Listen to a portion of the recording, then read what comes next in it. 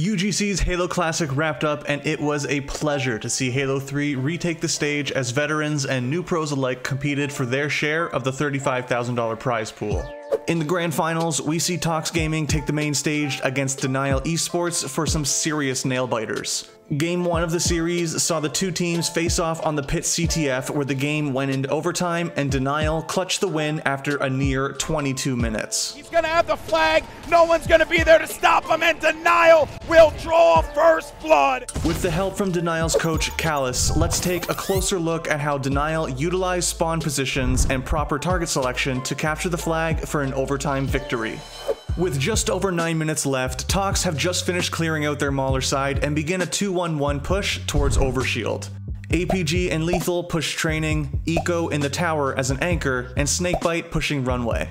Denial responds in a similar 2-1-1 format, but with a twist. Using the overshield as a distraction, Aries will make his way for a sneaky flagpole through Long Haul, while Commonly grabs a new sniper on S1 to support Shele and Str8 Sick as they fight for the overshield. Shele pushes into customs for the overshield spawn, soaking bullets and attention from APG and Eco. APG chases Shele to deny the OS, but Str8 Sick is there for support, delaying for Shele.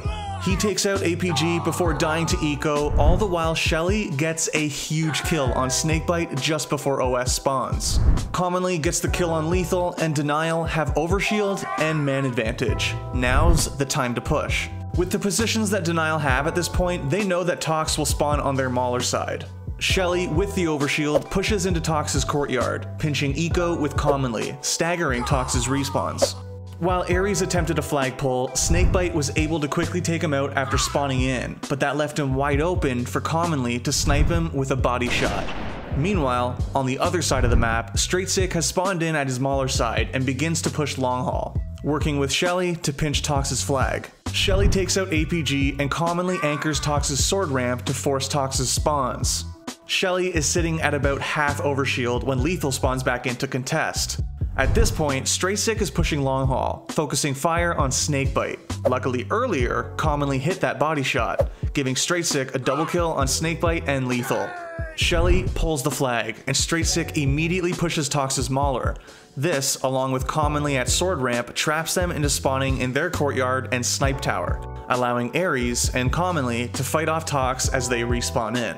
Based on the comms from his teammates, Shele switches his route to long haul so as to give him extra space to run the flag all the way home and claim the overtime victory. That shield back, he's gonna have the flag, no one's gonna be there to stop him, and Denial will draw first blood, and they will take game number one here in the grand final versus Tox.